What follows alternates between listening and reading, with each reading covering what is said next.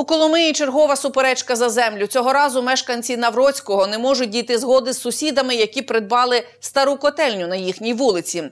Нові господарі отримали поруч ще й 26 сотих земельної ділянки. А на цій території люди мають гаражі, дитячий майданчик, зберігають городину та розвішують білизну для сушіння. Тепер все це треба забрати, бо нові сусіди хочуть споруджувати тут будинки. Сторони конфлікту зустрічалися для перемовин, але компромісу не знайшли. Тепер їхню суперечку має вирішити міський голова, з яким домовилися зустрітися найближчим часом. В іншому випадку справа дійде до суду. Сторони конфлікту та влада зустрілися задля пошуку компромісу. Як буває у таких випадках, всі на емоціях. Заступник міського голови Олег Дячук розказує перед історією цієї ситуації. Ще у 2010 році у Коломиї почалася епопея з котельнями, бо всі бюджетні установи перейшли тоді на альтернативні джерела енергії. Всі ці споруди виставили на продаж, а разом з ними й закріплені земельні ділянки. У цьому списку був і об'єкт на вулиці Навроцького. Вісім за ці роки майже всі котельні продалися. Ця ні, розповідає чиновник. Земельна ділянка дійсно виставлялася на аукціон разом з котельнею, виставлялася, виставлялася, виставлялася, але по якихось причинах, ну, мені на той час невідомих, вона не продавалась. Всі котельні і земельні ділянки успішно були продані, де вже забудували, де не забудували, де стоять в яких, в якому вигляді, в якому не є. Тоді у ратуші вирішили виставити на продаж саму споруду без землі. У жовтні минулого року котельню купили на аукціоні трохи більше як за 200 тисяч гривень. А землю, що поруч, передали цим власникам в оренду на 50 років. Оскільки земельна ділянка у, державному земельному кадастрі була сформована вже в такій, в такій межі, як 26 сотих, е, її відповідно е, передали в оренду як закріплено до цієї котельні, яку купили сьогоднішні власники даної котельні. Все ніби зрозуміло і відповідно до закону. Але мешканці вулиці Навроцького, коли почули про нових сусідів, обурилися. На цій території розташовані 14 гаражів. Будинки не мають підвалів, горищ, тому тут люди зберігають городину, консервації, сільськогосподарський інвентар. А ще граються діти, бо дитячого майданчика теж немає. Тепер доведеться все це забирати. Тут люди живуть по 30-40 років, багато пенсіонерів. Як їм тепер бути, не знають. В 2011 році вони виставили міська рада цю будівлю на аукціон, але нам вдалося її зняти з аукціону, бо у них не було технічного паспорта. І цей лот був протестований прокуратурою, і був знятий.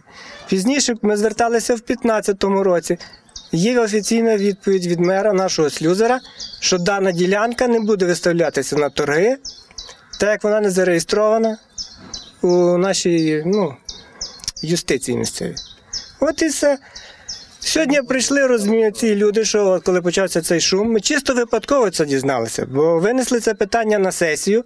Коли почали ми дивитися в електронному вигляді, ділянки немає. Коли почали поглядати паперові носії, вона там є. Тобто нас вже другий раз почали дурити. Коли ми в 2011 році також планували котельню купити, чомусь нам котельня була запропонована, сама котельня без землі, запропонована в ціну 760 тисяч без ПДВ. Тобто виходило в районі мільйон гривнів. Коли при курсу 8 гривнів за долар. Е, На сьогоднішній день, коли котельню продають, котельню продають у значно меншій ціні 207 або 208 тисяч разом з ПДВ. За таку ціну, повірте, мешканці чотирьох будинків ми могли цю котельню викупити самі. Ну, аукціон провівся без нашої. е, Тобто ми навіть не в курсі були. Е, Так само цей аукціон проводився на ні в електронних, ні в друкованих засобах. Він не був опублікований. Ми просто його не знали. Його в жовтні продали, і ми по факту тільки узнали, що все продано. Якщо би котельня не була в засобах масової інформації, е, біржа, яка її реалізовувала, не мала права її продати. Ні, не було земельного питання, е, що ми розглядали на цій сесії. На сайті нашому не було, помилка була і не було цього питання. Ми Скажіть, а чому змінилася цінова політика? Спочатку було будівля дорого, вартувала котельня, а потім кажуть, Ну, ви бачите, в якому вона стані. Там провели амортизацію, нарахували, провели переоцінку, і тому і ціна. Ну це там було все згідно закону. Ні, якщо по-чесному, то ціна мала. Я не можу вам про- Чесно, ціна мала, я не знаю, яка інвентаризація, ціна мала. міського голови в- у нас тоді не було, але 2015 року. Ціна 208 Але- тисяч це за дешево. На зустріч з мешканцями прийшов Анатолій Григорчук, представник власника. Розповідає, що його мати придбала цю будівлю на законних підставах на аукціоні. На сьогоднішній день місто має 47 тисяч гривень орендної плати від цього об'єкту. Зараз господарі хочуть починати будівництво, тому готові людей слухати та виділити їм частину орендованої землі. Ми готові піти людям на зустріч і е, віддати під дитячий майданчик кусок землі, яка належить до цієї котельні. Вона е, знаходиться у нас уже в оренді. Розумієте, на 50 років. Ми були в міській раді. е, Представники е, земельного відділу Коломийської міської ради все людям пояснили. Ну, на мою думку, чітко і зрозуміло. Але в людей були далі якісь виникають питання. Тому ми зібрались тут, щоб нормально поспілкуватися з людьми і знайти якийсь розумний компроміс, вихід з цієї ситуації. Вони нам дик- диктують умови, тобто, що вони нам пропонують, дають земельну ділянку, лишають цю земельну ділянку під що? Під дитячий майданчик. Під дитячий майданчик. Тобто, значить, е, тобто дитячий майданчик, тобто ви зберігаєте, щоб ваші діти гралися на цьому майданчику. Ні, наші діти. не Наші, добре, згідний. Е, витріпати килим, повісити білизну, я буду йти на вашу територію і вас перед будинком вішати.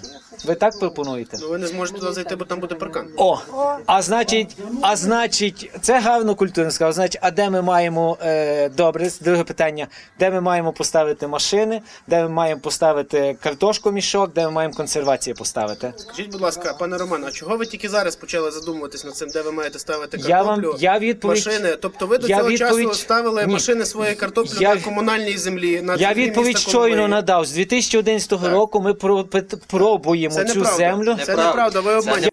Того дня компромісу знайти не вдалося. Людей не влаштовує ні місце, ні площа, яку власники їм виділяють. А ще проти того, що під час будівництва їхньою вузенькою вулицею почнуть їздити вантажівки. А будинки з 48-го року без фундаменту, вже маючи тріщини, просто посипляться. Кажуть, готові зібрати ці 200 тисяч та викупити у нових сусідів об'єкт. Наразі нові власники мають законне право господарювати на цій ділянці. Підсумовує заступник міського голови. Відмінити це рішення міськради може тільки суд. Якщо ми зайдемо в суди, наскільки я бачу, то, то ми в судах погрязнемо тут ну, дуже, дуже надовго. Спробує помирити сусідів міський голова. Він найближчим часом зустрінеться з обома сторонами конфлікту вже у ратуші. Галина Досин, Ігор Кофлюк, події НТК.